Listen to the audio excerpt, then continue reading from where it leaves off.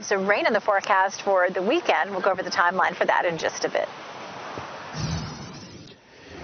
And here happening now in the WRAL Live Center, we're following some breaking news involving Carrboro High School. We want to take you to these live pictures happening right now. Uh, that school is dismissing early because of a reported bomb threat.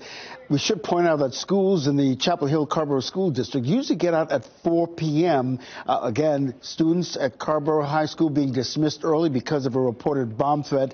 Here's what else we're finding out. Now, the students that are leaving early, they're being bused to Culbreth Middle, where they will be reunited with their families. Parents can also pick up their children at Culbreth Middle.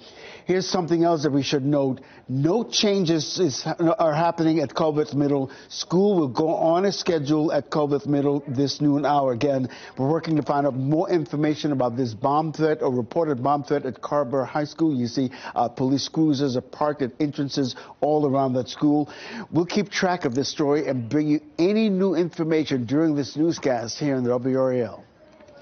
The truce between Israel and Hamas is due to end today.